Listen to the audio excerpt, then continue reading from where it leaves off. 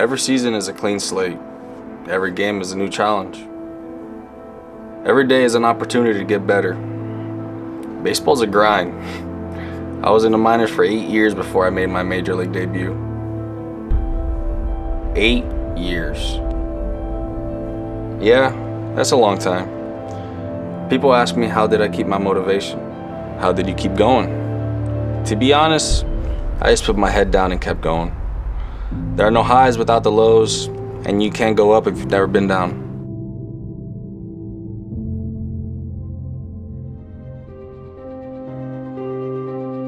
I've been around baseball since I was a kid, and I have always pictured myself in a major league uniform. I was going to do what it takes to get there. Just finished warming up in the bullpen, Dereck Rodriguez. In the Twins farm system, I asked a lot of questions and took a lot of reps. Rodriguez with the 2 2 offering. I truly wanted to make my mark as a pitcher. Swing and a miss for strike three. When I signed a minor league contract with the Giants for the 2018 season, I had even more drive to get to the show.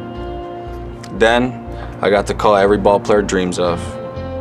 Dereck Rodriguez, one of the best young pitchers in baseball, a 26 year old rookie for the Giants, a cornerstone.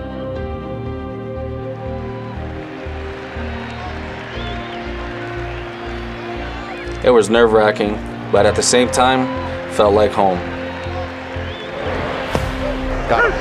After eight years of grinding in the minors, I was finally taking the field as a big leaguer for the very first time. The fact that it was finally happening, that my mom, my dad could watch me out there, was unreal. Dereck Rodriguez didn't get an ovation here. It's one that he earned. He was very good tonight. Last season was maybe the most fun I've ever had. I was gaining more confidence and adapting to big league lights. So when the 2019 season came around, I wanted to keep going. Driven into right center field. And this one's gone. And it's 4 nothing. A few tough starts, and I found myself between Sacramento and San Francisco pretty often.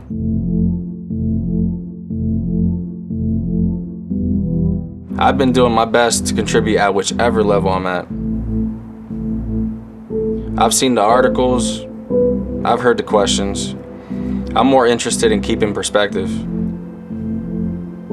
You can't appreciate the highs if you don't know the lows. No matter where I am, this is the game I've loved ever since I can remember. My path may keep winding in all sorts of directions, but the grind never stops.